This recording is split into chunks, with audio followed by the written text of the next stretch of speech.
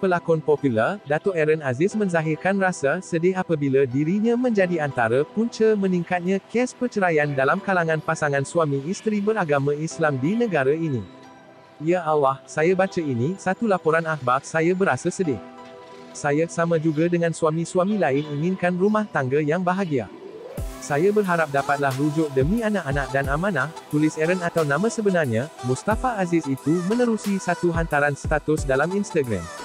Menerusi hantaran status sama, pelakon kelahiran Tampins, Singapura itu turut meninggalkan beberapa tanda pagar seperti hashtag jangan kecam abang dan hashtag abang tak bersalah.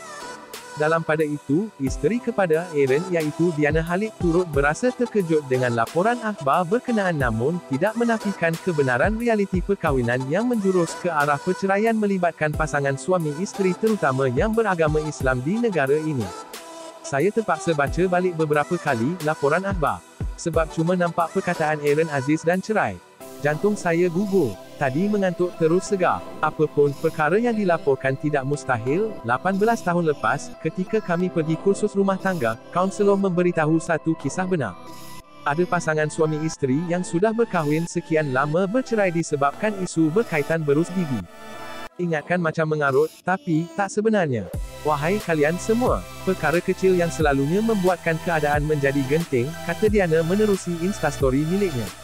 Terdahulu, Aaron yang cukup dikenali menerusi filem Ombak Rindu berkongsi satu keratan muka hadapan utusan Malaysia yang melaporkan tentang punca remeh perceraian berjudul PUBG Tupperware, Harun Aziz alasan cerai.